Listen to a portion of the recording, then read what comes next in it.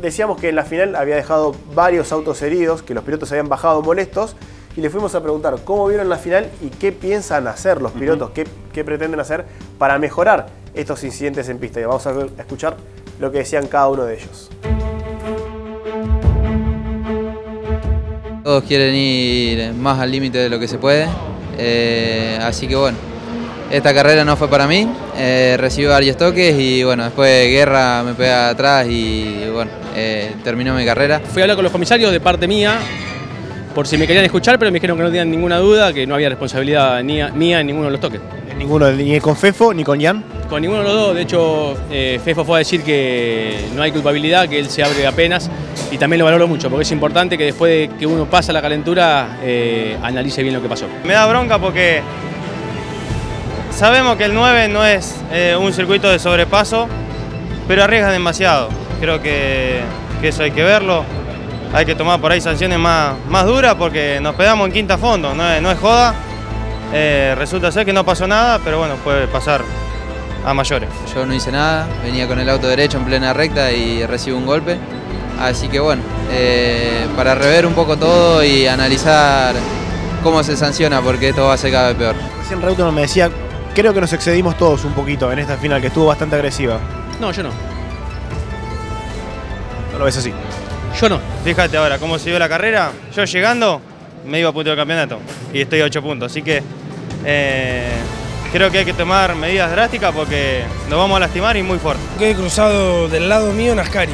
Eh, la verdad que me cagué en las patas porque un golpe ahí te puede llegar a lastimar, pero sí, eh, yo considero lo mismo. Ya largamos, curvó uno y adelante mío se pegaron un autazo y que no salió cruzado uno de pedo.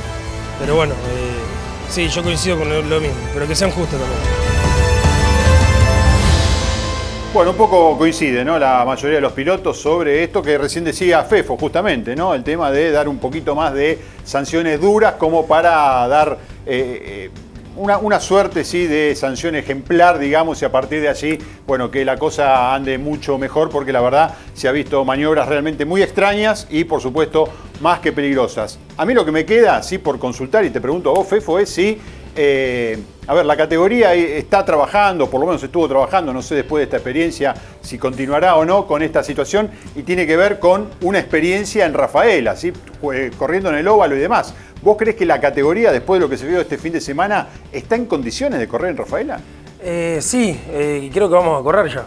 está en el calendario por lo que vi, pero con Chicana vamos a correr. Creo que sería un error correr en el óvalo, pero bueno, correr con chicana no me parece nada malo. Bien, eh, digo, en, función de lo que hemos visto este fin de semana, ¿vos crees que las condiciones están dadas para correr en un circuito tan particular como Rafaela? Sí, o sea, veo que bastante de los pilotos que están enojados porque eh, hay choque y demás son los protagonistas de, los choques. O sea, no sé por qué se enojan. Exacto. Acabo de ver a alguien que se quejó de un toque cuando chocó a otro en la carrera.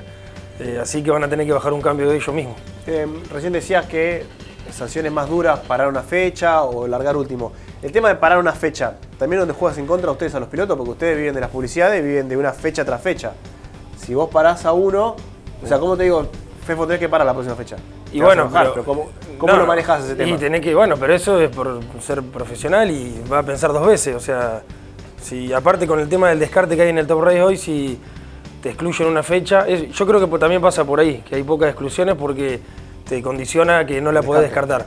Eh, entonces creo que los comisarios tienen mucho en cuenta eso a la hora de sancionar. Adoctrinar un poco, o sea, dar, eh, educar un poco cómo tienen que correr y después sí, capaz que la sanción es un poco más leve.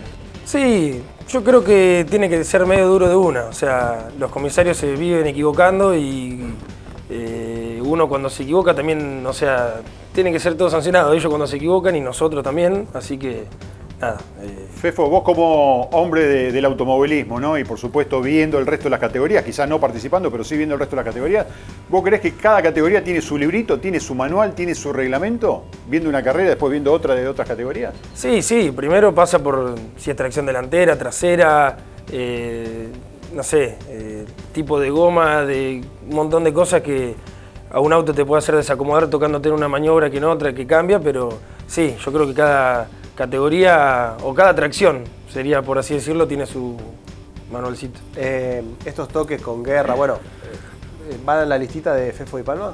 No, no, no, ahora no. Si yo hablé con Lucas y fue sin querer, pero bueno, en el momento. Pero que- sí, pero- pero- llegando pero- llegando a Ascari, siento un golpe atrás y se- una curva duro la carrera. Pero escúchame, eh, aunque no esté Lucas, eh, listita hay. sí, sí, sí.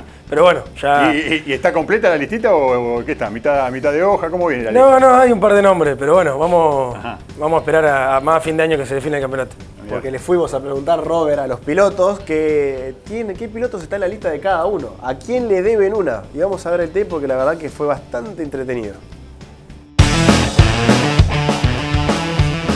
Saco esto, quiero que vayas si querés atrás del auto, después se va a arrancar la hoja y pongas al piloto que está en la listita de guerra, que a este le debo una. Este me la hizo difícil. ¿Y esto dónde sale? No, no, vos pones el piloto ahí, arrancás la hoja, me la das, yo la guardo acá. Ok. Es anónimo, no vamos a decir que guerra se la tiene jurada. ¿Lo hago ahora? ¿En vivo? O sea, voy para atrás del auto. Sí, sí, sí. Venga. Del B6, ¿eh? De, de esta temporada. No me va a poner cara mía. No me podía aclarar esa boludez, obvio. Es que si tengo que devolverle a una, anda siempre atrás mío, así que no tengo que andar muy mal para. Aparte corre con un Fórmula 1, y bueno. ¿Lo puedes poner? Ah, no vale ni pe- la pena escribir, no. Eh, vamos a buscar otro. ¿Hay alguno que se la tenga que devolver? ¿El apellido solo? Sí, el primero.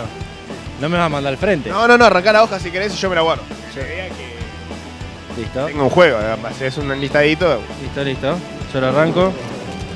Le puse carita enojado todo. Estamos, listo. Estamos, estamos, estamos. Creo que, que debo una ahí, pero bueno, igual me parece que es mutuo también, así que tendría que poner lo mismo al rival. Día de Santero, pero no corre acá Santero. Igual te está apretando el departamento. No, no, ¿qué va a prestar? Esa rata no, no presta nada. ¿Qué pusiste ahí? No se entiende. JDP. Ay, es anónimo, boludo, la re, re. Corte, corte, corte. No, no. queda tranquilo que no. Este, mirá. Este es confidencialidad, 100%. Este se guarda. Sí, esa, van en la memoria. Hubo uno que la verdad que me quedé con un poco de sangre en el ojo porque encima los comisarios deportivos no tomaron como a mí me parecía la maniobra y me quedó ese. Le dije, algún día va a ser, ya es amigo o tenemos muy buena relación. Pero lo voy a poner, lo voy a poner. Pará. Ya lo sacaste. Ese es uno, no está. Es secreto, quédate tranquilo.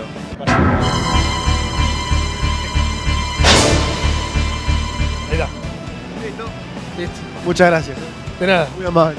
No, vos.